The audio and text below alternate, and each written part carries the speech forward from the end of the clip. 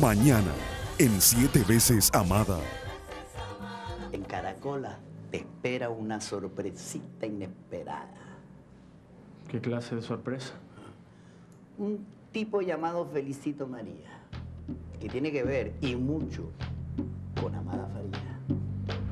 Resulta que aproximadamente hace año y medio yo iba caminando por el río, cuando de repente apareció así como de la nada. Veo que ya te conociste con Daniel. Siete veces amada.